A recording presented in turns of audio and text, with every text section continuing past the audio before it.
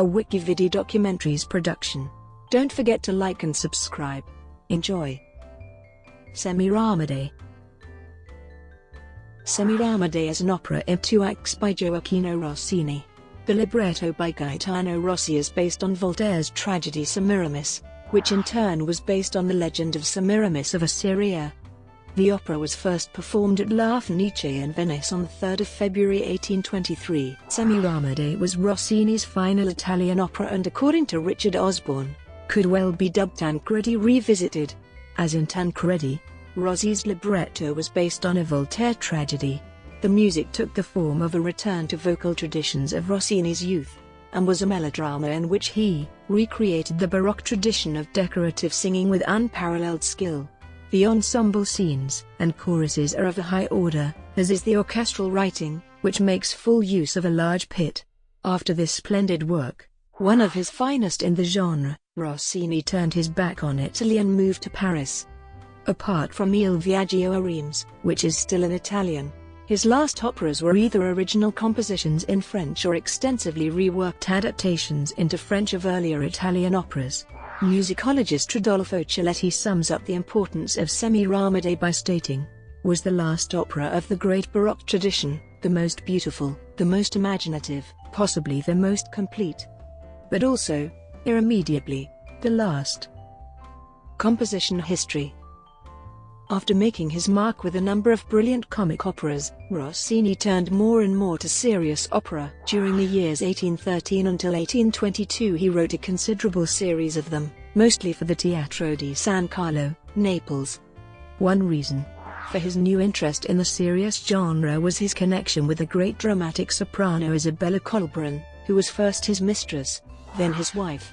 She created the leading female roles in Elisabetta, Regina d'Inghilterra, Otello, Armida, Mosè in Egitto, Maometto II, and five other Rossini operas up to and including his final contribution to the genre, Semiramide, which was also written with Colbran in the major role. Work began with the librettist in October 1822, composer and librettist taking Voltaire's story and making significant changes. Actual composition took Rossini 33 days to complete the score. Performance history 19th century Following its premiere, the opera was given 28 times for the rest of the season in Venice, and it went on to presentations throughout Italy and Europe, including Paris in 1825, Milan in 1829 and 1831, and Vienna in 1830. It reached London on 15 July 1824, was given its U.S. premiere at the St. Charles Theatre in New Orleans on 1 May 1837, but it took until 3 January 1845 before it was performed in New York. Other prima donnas emerged in the major roles by about 1825 since Colbran's vocal powers had greatly diminished by the time of the Venice premiere performances and she was in no state to ever sing the role again.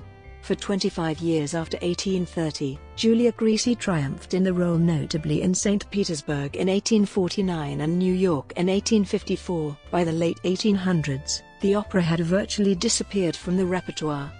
However, it was chosen in 1880 to inaugurate the Teatro Costanzi, new venue of the Rome Opera Company, and appeared as part of the Cincinnati Opera Festival 1882, which was attended by Oscar Wilde, and which featured the famous diva Adelina Patti who chose the aria, Bel Raggio Lusinghiero, for her farewell performance. The Metropolitan Opera revived Semiramide in 1892, 1894, and 1895. 20th century, and beyond it took until 1932 until the opera was again revived in Rostock, and it then reappeared under Tullio Serafin at the 1940 at the Maggio Musicale Fiorentino. Although the overture is one of several of Rossini's to be widely recorded, the opera is only occasionally performed in modern times. Presentations at La Scala in Milan in December 1962 with Joan Sutherland and Giulietta Simionato required the reassembly of the entire score from the Rossini autograph, since no other texts were known to exist. While musicologist Philip Gossett notes that between 1962 and 1990, some 70 opera houses have included the work in one or more seasons. It was not until the Met 1990 revival after almost 100 years that a production based on a new critical edition was mounted. It starred Lella Cuberli in the title role and Marilyn Horne as Arsace. In 2004, the opera was mounted in concert form by the Radio Symphony Orchestra, Vienna, and Wiener Konzertgebäude. For recent productions, the database Operabase notes 22 performances of five productions, in five cities, since January 2012, but only two of the five were staged productions, the others being concert versions, including one given by the Rossini in Wildbad Festival in 2012, which was recorded with Alex Penda in a title role. In November 2017, the Royal Opera House, London, mounted its first production of the opera since the 1890s, with Joyce DiDonato in the title role. Synopsis Colon Time, Antiquity or, some 2000 years before the Christian era, place, Babylon Overture Semiramide has its own overture, which was almost certainly composed last. Unlike many operatic overtures of the day, it borrowed musical ideas from the opera itself thus making it unsuitable for use with another score. The range and balance of musical ideas, from the hushed, rhythmic opening through the andantino for four horns and the repetition with pizzicato counter melodies in the strings to the lively allegro, make the overture to Semiramide one of Rossini's finest contributions to the genre and deservedly one of the most popular. Act 1 Temple of Baal, Babylon The high priest Oroe invites Saul to enter the temple, and Babylonians do so carrying offerings to Baal. Ah, Assur states that the day has come for the queen to choose a successor and he reminds all of his own valor. Idreno expresses surprise at Assur's aspirations and all express their individual concerns and fears. Semiramide enters to the acclaim of all. But Idreno and Assur individually speculate as to who will be chosen. They pressed the queen to announce her decision, but at the same time Semiramide herself is fearful about making the decision, especially as she appears to be expecting someone's arrival. Suddenly, the temple is plunged into darkness and there is general consternation amidst fears of its imminent collapse. All desert the temple. Arsace, a warrior, enters. He has been told by his dying father to go to the temple in Babylon and he was also urgently sent for by Semiramide. He brings with him a casket belonging to his father, but he is puzzled as to why he has been called back to Babylon. He declares his love for Princess Azema who loves him though she has been promised to the dead King Ninos' lost son, Ninia. Arsace states his unwillingness to support Assur in his bid for the throne. Arsace asks to see the high priest. Oroe enters, opens the casket, and exclaims upon seeing it that it contains the holy relics of the dead king. He hints to Arsace about some treachery that had been involved. Seeing Assur approach, Oroe leaves with the relics. Assur arrives and questions the reason for Arsace's return. The two men discuss Azema, with Arsace reaffirming his love for her while Assur states that he too loves her. You have no idea what love is, the younger man tells the older. The entrance hall of the palace Azema enters, happy that Arsace is now in Babylon. Idreno follows her and asks for her hand. She tells him that this must be Semiramide's decision. What of your heart? He asks, assuming that his rival can only be Assur. Scornfully told that it will never be Assur, Idreno is comforted, although he expresses his desire to punish the wicked boldness of a rival, and continues to express desire for Azema the Hanging Gardens having fallen in love with Arsace and believing that he loves her. Semiramide waits for his arrival. She receives a message from the oracle, telling her that a wedding will make a new king. She believes this to be a sign from the gods that they approve of her plans, and orders preparations for a wedding. When Arsace arrives, he alludes to his love for Azema without specifically naming her, but he also declares that he will die for his queen if necessary. Semiramide still believes that he really loves her, and vows that she will give him all he desires. They leave separately. The palace throne room all enter to await Semiramide's arrival and her announcement of her choice of successor. Arsace, Idreno, Oroe, and Assur all swear to obey her command, no matter what she decides. She demands loyalty to the man she chooses, and they are told that he will also be the queen's husband. When Semiramide names Arsace as her chosen one, Assur is outraged, and Idreno accepts the decision, but requests Azema's hand, which is granted.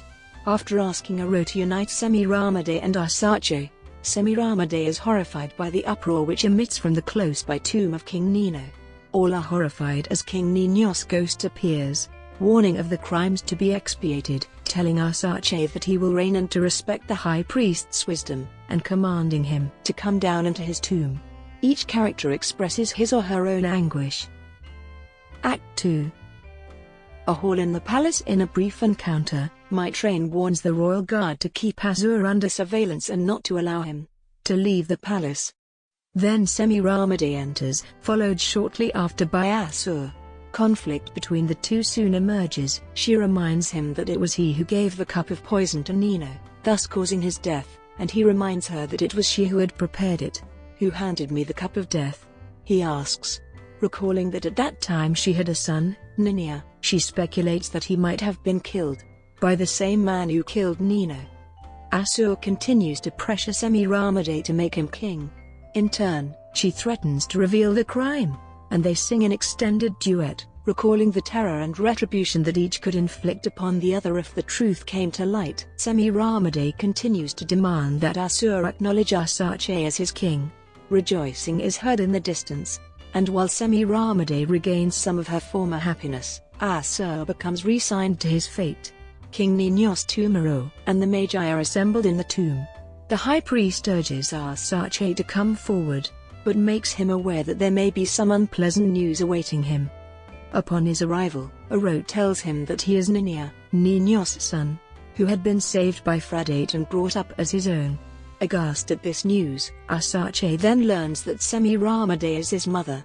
To reinforce this news, Oroe hands him a scroll, writing by the king before his death the reading of which confirms the priest's statements. The final blow comes when Arsace reads Ninos' words, and realizes that his mother and Assur were the ones who killed his father.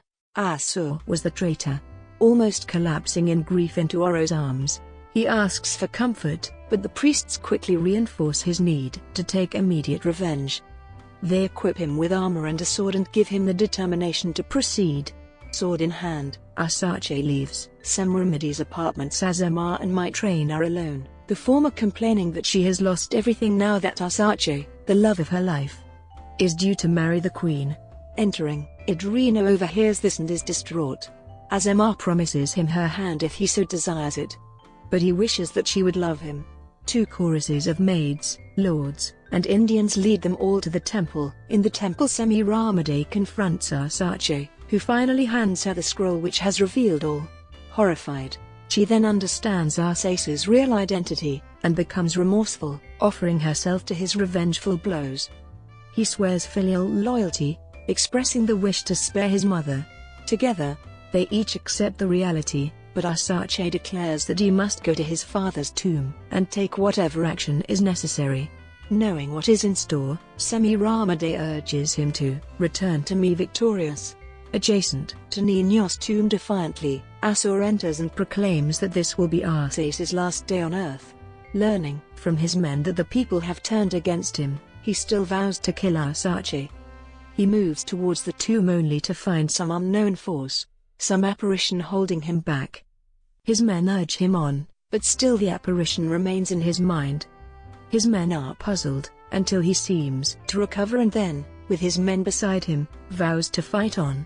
Along with Oroe, Arsace enters the tomb. He awaits his rival.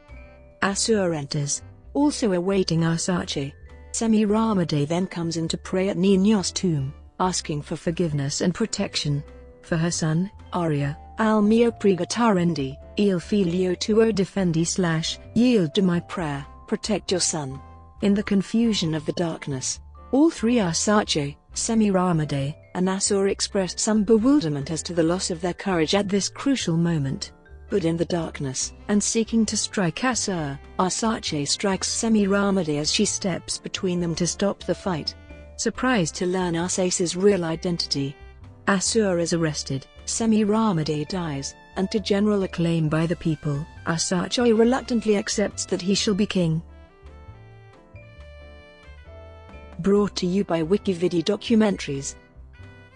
Would you like